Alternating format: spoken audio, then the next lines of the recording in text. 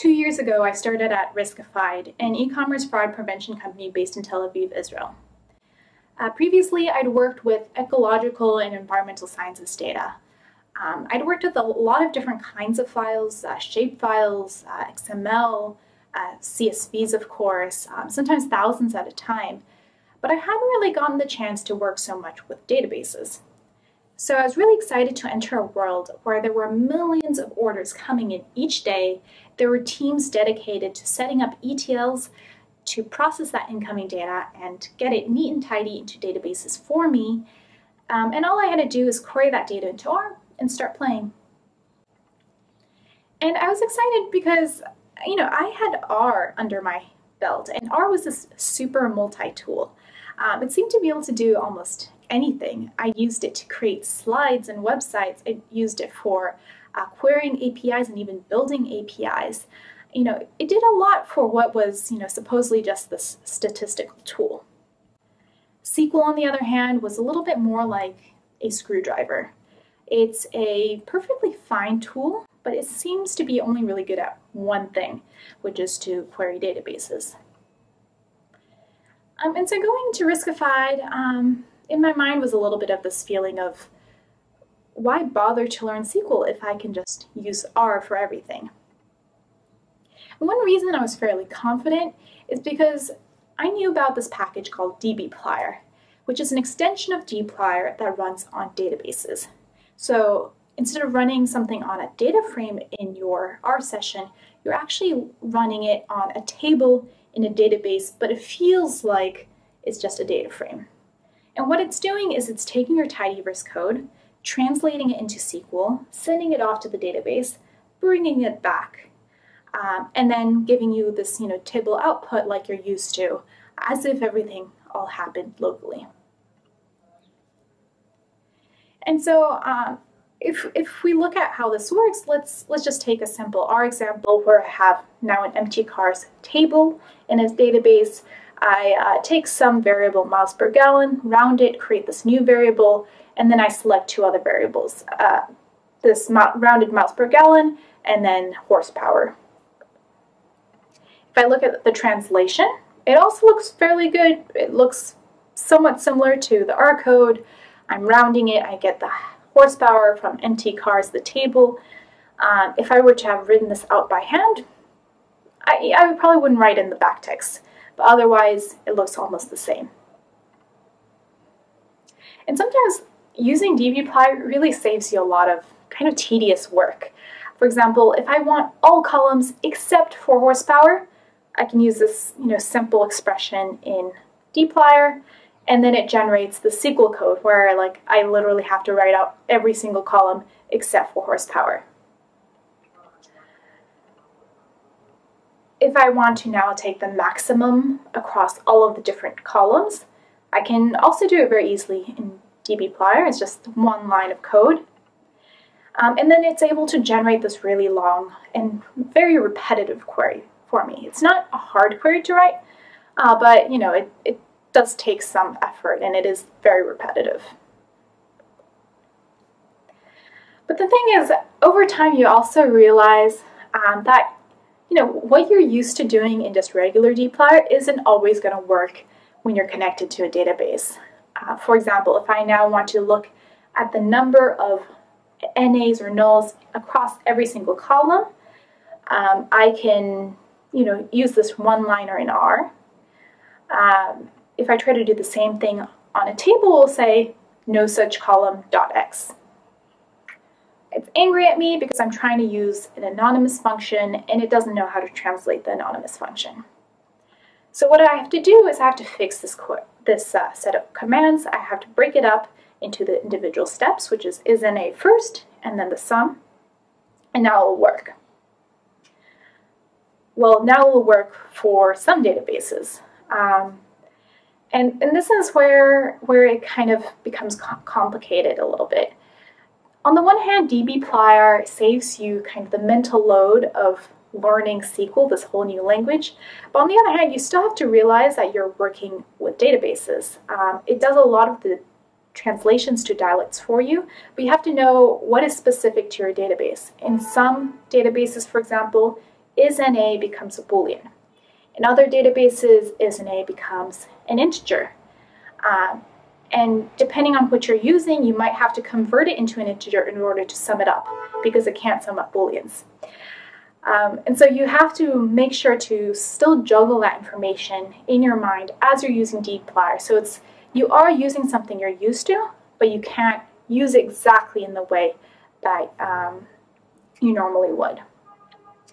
And so over time, I did really start to appreciate SQL, the screwdriver, because uh, even they have their moments, and you know sometimes it is easier to just switch over to a different language rather than to try to juggle how regular dplyr is different from like dbplyr d um, code um, on this specific database. Um, and so, for example, if I take what I had from before, I switch out the ending, and now I have a group by and summarize instead. If I were to write this out by hand, it's also a fairly simple SQL query. The ordering is a little bit different, but otherwise it has all of the same components. If I now take the machine translation of this, um, it looks a little bit scary at first. It's going to run just fine. It's just as efficient. It's not going to have any problems. But you can see that it's not as readable. It's harder to distinguish what here is really important, what is just kind of extra uh, code that, that is uh, used to generate this, uh, to automatically generate this query. Um, and so at some point, once you have to you know, hand SQL code off to someone else, or if you need to really optimize for speed and you need to kind of input some of these little database tricks um, that you know about, you have to dig into the SQL. There's just no way around it. And for me, it's kind of like using Google Translate. Um, I live in Israel. I did not grow up speaking Hebrew. Um, you know, I learned the alphabet just a few years ago. Um, and I can get around with just Google Translate. I can survive. Um, but you also really quickly realize that it's it doesn't you you can't express yourself exactly in the way that you want to. You lose out on a lot of the nuances of the language. And sometimes you even have to alter the way you input your English sentence in order for the translation to come out okay on the other side. Speaking of language, that's, that's one other really amazing thing about SQL. It's kind of this lingua franca um, along, among at least like the technical folks in a company. Um, of course, the database administrators are familiar with it, but also business analysts, data scientists, software developers. Everyone has at least that core level of SQL. So if you need to communicate some actions you want to do to data, this is a really good way to communicate that through code. And so with time, I realized really that R and SQL belong in the same toolkit. Uh, you can survive on just one or the other, um, but over time, it's, it's really nice to be able to use both very well, especially if you're in this intersection of using R and databases. And the nice thing is if you know one, it's fairly easy to become bilingual.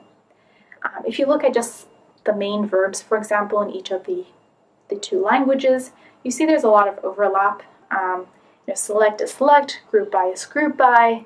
Um, there, there are some things you have to learn. You have to realize filters, now where or having in SQL, uh, arrange order by, and so on and so forth. So there is a little bit of translation you have to do, but it's not too big of a leap. Um, and the other thing is, if you're used to R, then you you know that you kind of write things out in the order that they happen.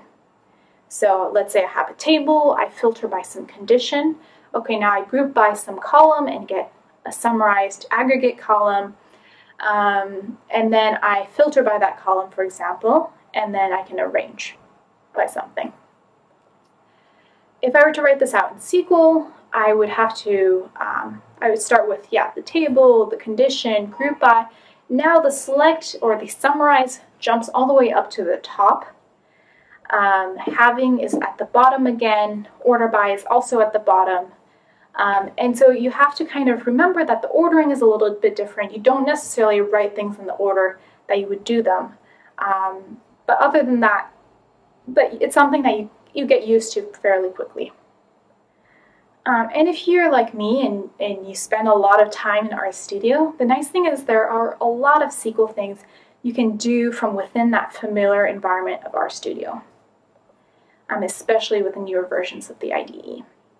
For example, if you open up a SQL file, you have your nice you know, colors, syntax highlighting, so you can see what the verbs are, what the, um, you know, the table names are, what I didn't realize for the longest time is there's this line at the top that says, you know, exclamation mark preview with some stuff after that. And this is where you can actually set a connection. So if you set a connection to the database, you can get the SQL preview pane where you can preview that SQL query within RStudio. Um, this took me a while to figure out, but it's a really nice feature.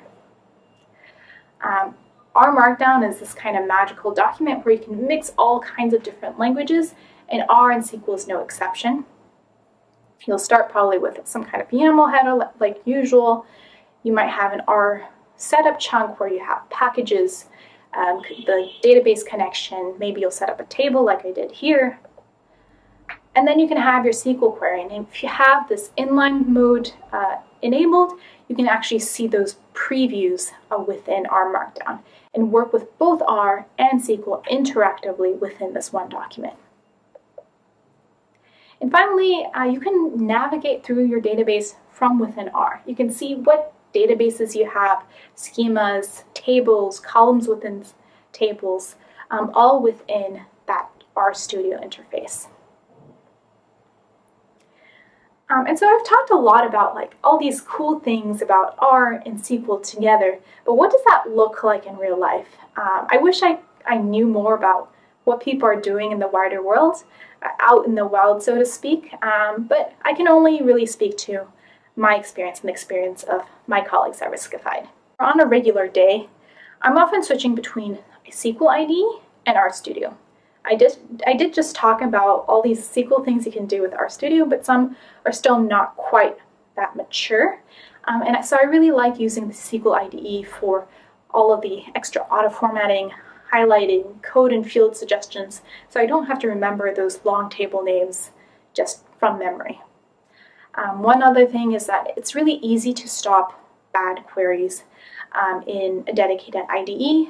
Sometimes in RStudio it gets stuck and I like press on that red button for ages and in the end I have to just force quit my RStudio um, and just start over. On the RStudio side, there are a lot of nice R features, obviously, visualizations, reporting, being able to mix languages in the same document, as we mentioned earlier. Uh, but I think maybe most importantly, you have this ability to organize your analysis project and on top of that, have version control. That means you have your, you know, you have your SQL files, your data files, your R file, maybe R Markdown files, all together in one space it's a project that you can now easily give to someone else and have them work on it and have everything work. Um, and on top of that, everything is version controlled so you can connect directly to GitHub and have it all sit there as well. And so speaking of project structure, if you were to you know, take a walk through the GitHub repositories at Riskified, uh, you would often encounter um, some kind of folder structure like this where you have SQL files where you're reading in relevant data, doing some initial data processing, uh, getting that initial sample population ready for analysis. And then you have your R files where you do that all the complex steps, the stats, visualizations, etc. Sometimes you're bringing in extra information from the database in between with smaller queries. Um, and then finally, you have this R Markdown report where you share your results and conclusions with stakeholders. And this is where both of those pieces really come together into this one final product. And because we're using R and SQL so much within Riskified, we actually have a dedicated package to handle those database connections and also just add little helpers uh, that, that help us with our day-to-day -day flow. For example, we keep all our configurations within this package. You know, anything that's not too sensitive, um, like a host name, port, etc., we just stick into the package. If we need to update it, we just update it in that one place. And as long as people reinstall the package, it gets updated across all the computers. The other thing is that we basically just use one database, uh, at least among the analytical teams. And so unless you um, explicitly provide a database connection, we assume we know what, what you you want. Um, and so that's built into the, our, our very own get query function.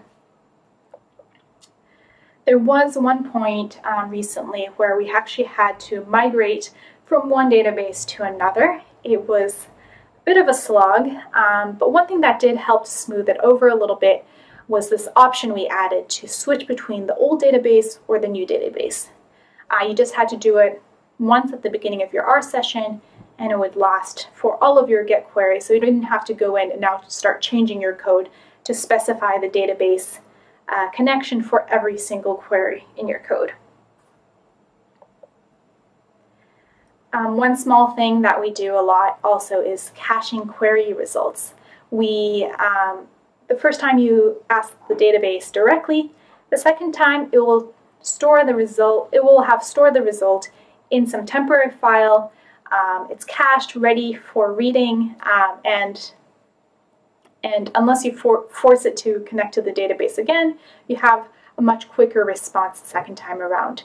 And that saves on a lot of time as you're iterating through your analysis. And finally, we also have other little helpers like access to pipelines for bringing large amounts of data from R to the database or the other way around. Sometimes insert statements just don't cut it.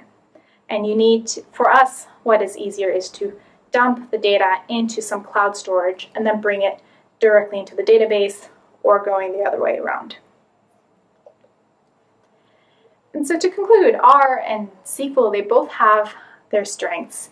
R is great for summarization across columns, especially you know, selecting specific columns, uh, translations to multiple dialects. If you're working with several databases, SQL, on the other hand, is uh, great for, um, it, it, like is really needed when you need to optimize for speed or readability because you're handing it off to another team to review that code. Um, and you know, there's there's still a lot to learn. I'm sure I'm I'm still on this journey of learning how to use R and SQL well together. Um, but I would love to also hear from you. Is your story similar, different from mine? Um, my contact details are here, um, and thank you so much for listening today.